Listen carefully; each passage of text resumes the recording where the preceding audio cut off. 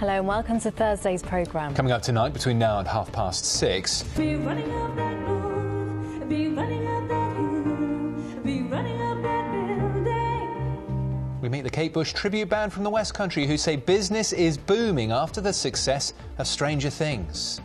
Uh, next tonight to the song that was first released back in 1985 but is currently topping the charts after finding a new legion of young fans. Running Up That Hill by Kate Bush featured on the popular Netflix sci-fi drama Stranger Things and it's not only provided newfound popularity for the singer. No, it has also boosted the career of many tribute bands, including Cloudbusting from Cornwall, who have been telling us what the song means for them.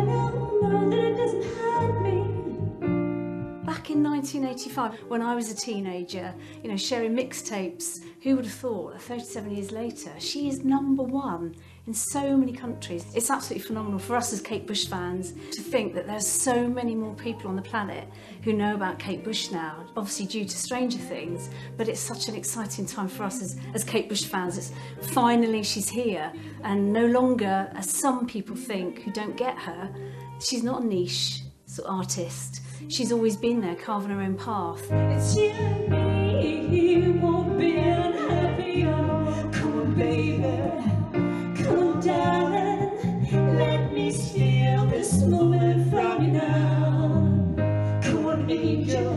Come on, come on, darling. It's a really emotive song, actually. If I could make a deal with God and get him to swap our places, and that's what so many of us in relationships want to be able to do, you know. And I think to sing it, you don't inhabit the character of Kate Bush, you inhabit the songs, and that's what's really important.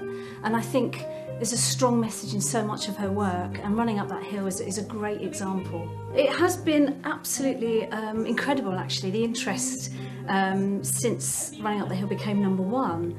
And I think it's, um, yeah, it's great to be down with the kids at the moment. But yeah, I- I'd be really interested to see if we do see an influx of younger audiences.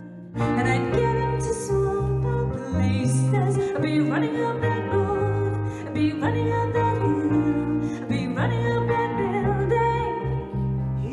The thing about Kate Bush's music is the second, third time, fourth time you hear it, you hear new things buried deep down. And that's what we want to try and do. We want to find those little things that you know are there but you don't expect to hear live. We want it to sound we want it to sound like a as good as a CD, but with a live context. Come on, come on, darling.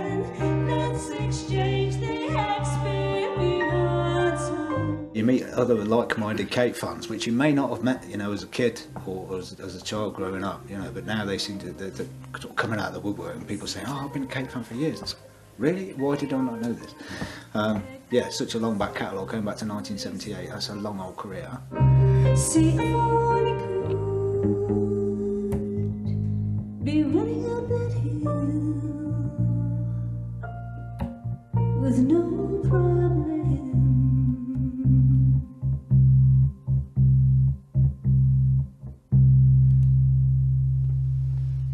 Oh, I was enjoying that. That was great. Yeah, and lovely to hear how different people kind of interpret that song. Great to see it making a comeback as well. Absolutely.